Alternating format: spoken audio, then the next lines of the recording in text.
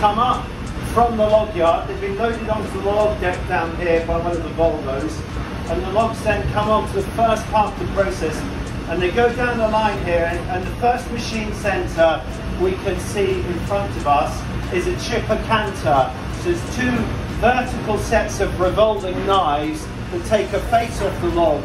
The log then goes through 90 degrees and we further take off and second the other two faces. So at that point we've got what we call a cant where the log is being squared off or not quite but with the corners nicked out.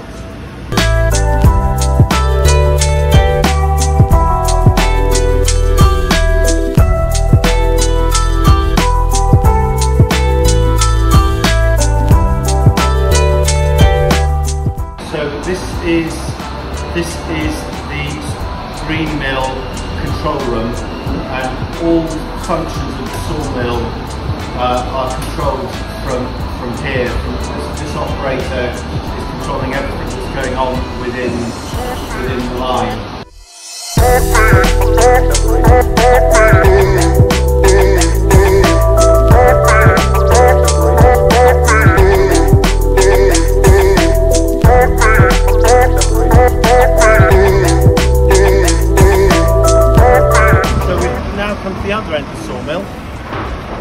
Products go in from the round, they've been chipped square, and then we've sawn those square centre sections up, and they've produced products of different dimensions.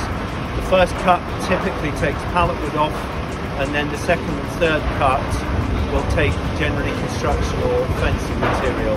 And then behind us, we've got a side loader that's waiting for packed to come out of the sawmill to, to go from the end of what's now the primary process to what we now call secondary processes where we move on to value added.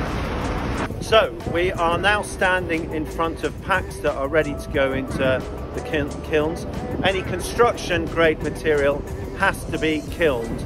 The kilns are behind us here. We have seven kilns here. The heat from these is produced from our biomass boiler that we have on, on site. Um, so it's we're burning yard sweepings and things like that to generate generate the heat. A typical cycle in the kilns is about 72 hours, when, and we're basically taking the moisture content of that product from around about 50% to a bit below 20 20%.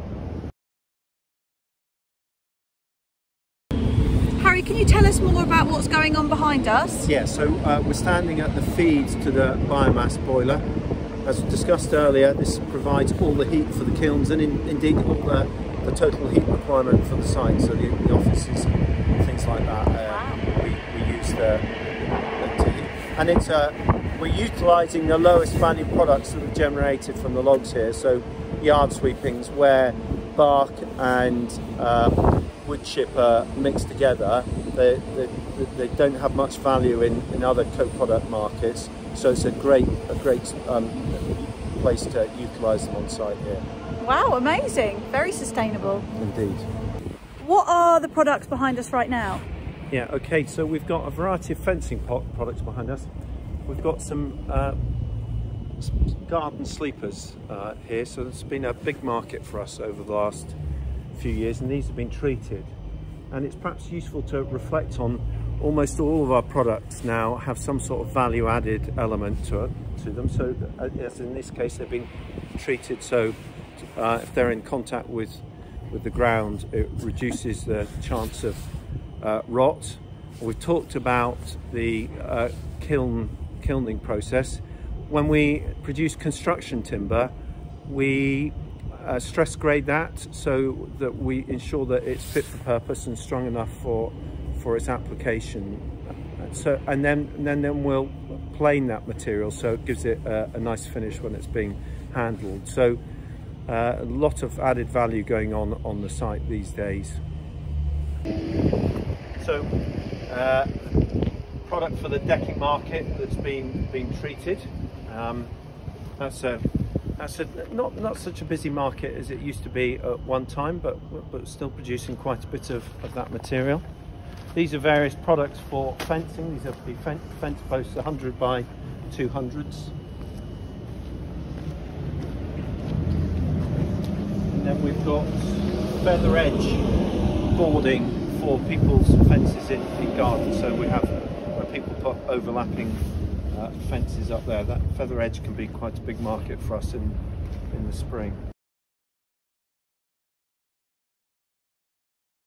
So Harry, what is this product here? So this is really our bread and butter at this site. This is the product generally that we're really trying to focus on producing, which is construction material. Typically about 60% of the group's production go into the construction sector.